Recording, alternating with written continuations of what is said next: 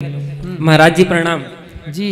महाराज मैं छत्तीसगढ़ से हूँ और 16 तारीख को मेरी मम्मी घर से निकली थी बिना बताए। आपका कथा कंटिन्यू सुनती थी दो साल से और वो 17 तारीख को शाम को आपके गौरी गोपाल आश्रम में ठहरी थी। हम अपने परिवारजनों से पूछताछ अपने तरीके से खोजबीन किए तो पता चला कि वृंदावन जाऊँगी वृंदावन जाऊँगी करके रट लगाए रहती थी।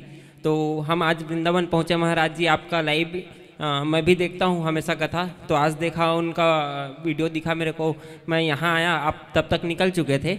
मेरी मम्मी मिल गई और सुरक्षित मिली। महाराज जी मैं आपको बहुत बहुत धन्यवाद ज्ञापित करता हूँ महाराज। तो कहाँ है आपकी मम्मी? मेरी मम्मी को अभी मैं होटल में रखा हूँ। थोड़ा सा त, पेट दर्द कर रहा था खाना थोड़ा खिलाया। खाना नहीं खाई थी अभी ठीक है। महाराज जी एक क्वेश्चन था।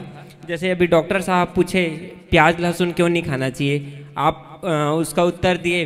और ऐसे कई सारे क्या बोलते हैं श्रीमद् भागवत कथावाचक होते हैं सब अलग अलग उत्तर देते हैं महाराज जी जिसका जो हिंदू हिंदू विरोधी जो ताकतें होती हैं उसको गलत फ़ायदा उठाते हैं।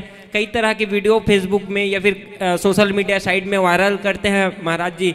तो मेरा कहना था कि जितने भी जो कथावाचक हैं श्रीमद् भगवत लोगों तक पहुंचाते हैं या जो ऐसा क्या बोलते हैं प्रश्नोत्तरी होता है तो आंसर एक क्यों नहीं होना चाहिए महाराज?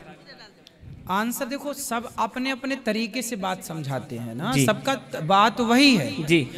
लहसुन प्याज नहीं खाना चाहिए सबका उद्देश्य ये है। जी। समझाने का। अब समझाने के तरीके अलग अलग होते हैं सबके। जी जी। उद्देश्य क्या है मत खाओ। जी। मूल में क्या निकल रहा है सारांश? जी। मत खाओ। अब मत खाओ को समझाने के तरीके अलग हैं। सबके तरीके अपने अपने अपने तरीके से हैं। जी जी। ड्राइवर सब होते हैं पर सबका तरीका अलग होता है गाड़ी चलाने का। जी। इंजीनियर सब हैं पर सबका अपना होता है ड्राइंग बनाने का और घर बनाने का। जी। अपने अपने तरीके से। जी जी। सबके घर भोजन बनता है पर सब अपने अपने तरीके से बनाते हैं। हलवा सब बनाते हैं। जी सबका तरीका है सबका स्वाद भी अलग अलग है। जी। तो वही है। धन्यवाद महाराज। बहुत बहुत प्रणाम महाराज। खुश रहिए। और किसका प्रश्न है? हाथ उठाओ। हेलो। राधे राधे गुरु जी जी जी जी। जी जी गुरु जी हम सासाराम बिहार से आए हैं गुरु जी अच्छा। और आपके शरण में पहले बार आए हैं वृंदावन। और पहली बार में ही यहाँ हम पधारे घूमते घूमते आए तो। ये गुरु जी एक यहाँ तो आप गुरु स- हैं सर हम तो कुछ कह नहीं सकते वृंदावन धाम है।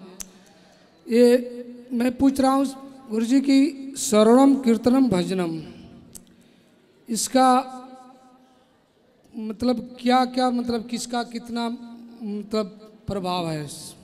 श्रवणम कीर्तनम स्मरणम जी। पाद सेवनम अर्चनम वंदनम दास्यम सख्यमात्म निवेदनम।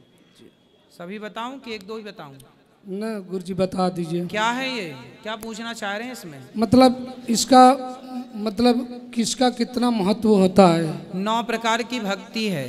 जी। और सभी भक्ति का नौ भक्ति कौन कौन सी? श्रवणम कथा सुनना कीर्तनम कीर्तन करना भगवान का नाम जप। श्रवणम कीर्तनम स्मरणम भगवान का स्मरण करना। पाद सेवनम मतलब चरण सेवा करना अपने माता पिता, गुरु, समाज की जो है, सबकी जो जिस भाव है, सब में भगवत भाव हो। श्रवणम, कीर्तनम, स्मरणम, पाद सेवनम, अर्चनम। तुलसी से अर्चन करना, वंदनम, वंदना करना, तुम्हें वो माता सपिता। वंदनम, दास्यम, दास्य भाव ये प्रभु, हम आपके दास हैं सख्य, हम आपके सखा हैं, आप हमारे हैं। आत्मनिवेदनम, समर्पण। ये सब नौ भक्ति हैं। श्रवणम, कीर्तनम, विष्णु स्मरणम, पाद सेवनम, अर्चनम, वंदनम, दास्यम सख्यमात्म निवेदनम नौ दो वक्त तो गुरु जी नवदा भक्ति है। तो भक्ति देखो नौ में नवमहु एक हूँ जिनके होई नारी पुरुष सचराचर कोई कोई एक भी हो किसी के अंदर तो कल्याण हो जाता जी जी गुरु जी एक और है मेरी पत्नी आपका कथा बराबर सुनती रहती है तो वो बार बार कर रही है थोड़ा सा कह दीजिएगा गुरु जी से हमको राधे राधे बोलने हाँ। पत्नी को राधे आपकी पत्नी जी को राधे राधे राधे